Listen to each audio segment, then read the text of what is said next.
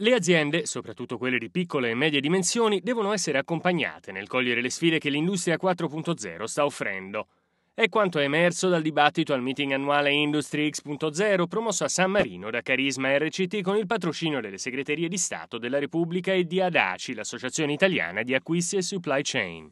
Se da un lato è urgente accelerare il processo di sviluppo digitale, dall'altro occorre riprogettare la propria strategia di business, definire le priorità di investimento e affrontare il cambiamento in modo integrato. Un percorso già avviato da Ansaldo, storica azienda produttrice di turbine e generatori, ora uno dei principali player nel settore del power generation.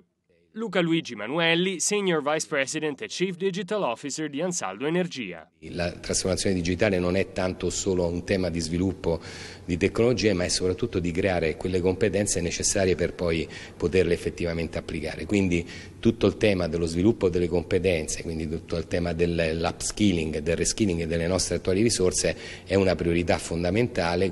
Benefici che devono essere estesi a tutta la filiera di fornitori. La Liguria del resto ha espresso nel suo piccolo un ecosistema collaborativo importante, essendo la prima regione ad avere un Lighthouse Plant, quello di Ansaldo Energia, un Digital Innovation Hub e il centro di competenza START 4.0.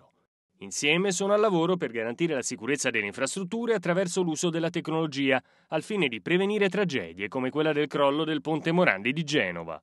La regione Liguria rappresenta un po' la Basilicon Valley eh, per la capacità di promuovere l'innovazione e coinvolgere le diverse componenti dell'innovazione, quindi la politica, eh, il mondo della ricerca e l'industria in questo eh, orizzonte strategico. Presente al convegno Industry X.0 di San Marino, tra gli altri, anche il colosso americano Intel, che evidenziando l'impatto e le potenzialità che l'intelligenza artificiale avrà sempre più nei processi produttivi, ha sottolineato come un'efficace collaborazione uomo-macchina sia fondamentale per gestire la rivoluzione in corso.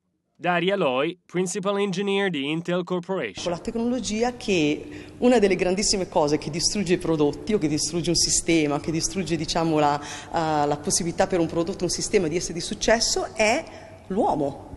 Cioè l'uomo o la donna, comunque la persona, perché poi alla fine eh, tu puoi mettere le strutture in gioco che vuoi, magari anche sofisticatissime, però se poi gli utenti non la utilizzano o la boicottano o la utilizzano male, alla fine eh, hai speso un tanto di soldi.